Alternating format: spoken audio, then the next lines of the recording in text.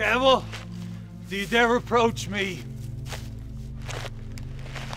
I'll be gone, vile insect! Oh, May God trample you to dust. Oh, that the extinction of your miserable existence would restore the victims whom you've murdered. I expected this reception. I will not hear you. There will be no community between you and me. We are enemies. Be gone! Or let us try our strength in a fight, in which one must fall. I ought to be the Adam, but rather I'm a fallen angel. The caves, the caves are my dwelling. These bleak skies I hail. Find my Lord and King condemns me. All men hate the wretched. How then must I be hated, who am miserable beyond all living things?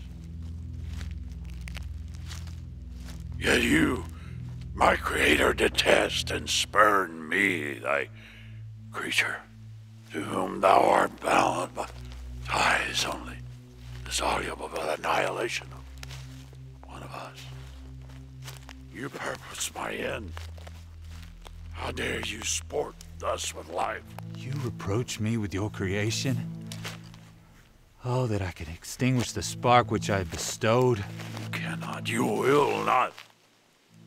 Listen instead to the work of your own hands. Your very voice calls to remembrance circumstances of which I shudder to reflect, which I alone have been the miserable origin and author. Go on, demon. You accuse me of murder. Yet you speak in a hopeful manner of destroying your own creature. Oh, praise the eternal justice of man, the eternal virtue.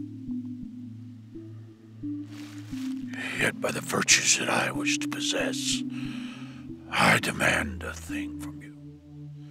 Shall each man find a wife for his bosom, and I be alone? To be free of you forever, I should create another like yourself. Equal in deformity. Yes. Create a female for me. We should be cut off from all the world, but on that account, more attached to one another, free of humanity, forever. Forever?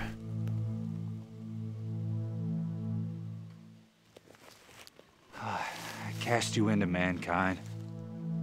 Therefore, the lives of my father and fiancé are irrevocably damaged. Oh, at the penance, do I not, as your creator, owe you all the portion of happiness that it is in my power to bestow? Yes, my maker. Thus I take from thee a sight which you bore. Give your decision. Oh, I, consent to your demand. Then commence your labors. I shall watch their progress with unutterable scrutiny. I go, should you fail, know that I will be with you on your wedding night. For you are my creator, but I am your master.